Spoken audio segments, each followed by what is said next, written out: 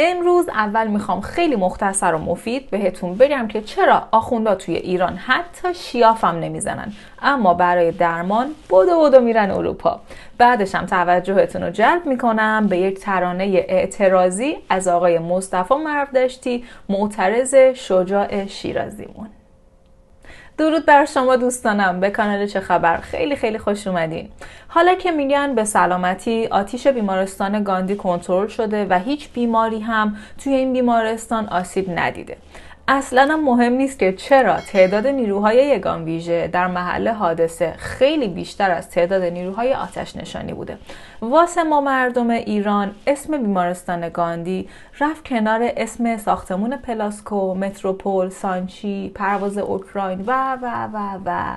هزاران جنایت و قتل و قارت حالا لازم دونستم که این نکته رو بهتون یادآوری بکنم. یکی از سهامدارای بیمارستان گاندی امیدوار رضایی برادر سبزوار رضایی یا همون محسن رضایی خودمونه. می‌دونید که توی شناسنامه اسمش سبزوار بوده بعد خمینی یهو با اسمش حال نکرده. گفته که من از این به بعد شمار آقا محسن صدا می‌کنم. اینم زخت کرده دویده رفته اسمش رو عوض کرده. از سبزوار گذاشته محسن. حالا خلاصه یکی از سهامدارای بیمارستان گاندی برادر محسن رضاییه به ما که ربطی نداره. گفتم همینجوری بگم شما هم بدون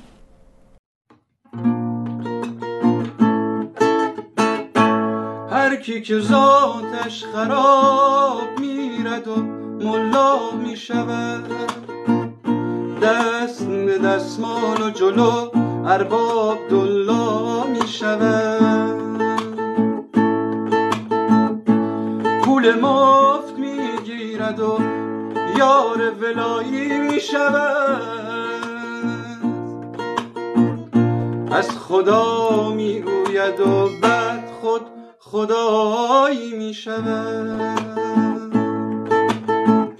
روی منبر می رود هی یقه پاره می کند واسه حفظ افاف هی فکر چاره می‌کنن درس اخلاق میدن و هجاب و حالی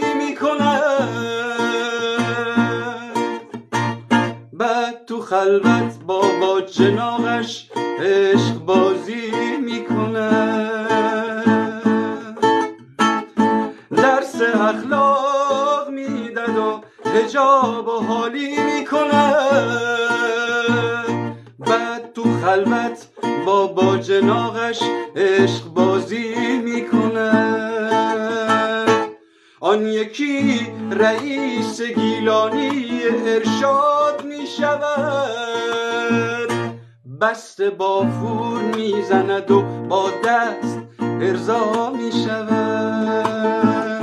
آن یکی رئیس کیلانی ارشاد می شود بست بافور می‌زند و با دست ارضا می شود حوزه از ریشه خراب علی کاری بکن. فکری به حال شهوت مذهبی و غاری بکن. حوزه از ریشه خراب است سیدلی کاری بکن. فکری به حال شهوت مذهبی و غاری بکن. آن یکی اگه بخواد کل لباسانو به نامش می‌زنن یکی واسه سطل زباله یک شب زارش می‌زنن یکی واسه سطل زباله یک شب دارش می‌زنن